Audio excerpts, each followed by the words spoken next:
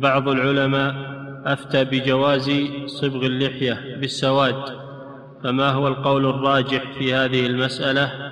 وما هو رأي جمهور العلماء في ذلك؟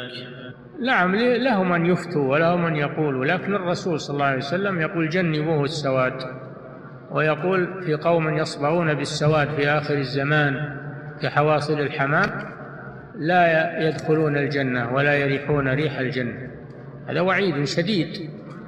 فهذا هذا يدل على تحريم الصبغ بالسواد. وإن أفتى من أفتى بجوازه فهو غلط. هذا خطأ واضح الفتوى قد تكون خطأ لأن المفتي ليس معصوما.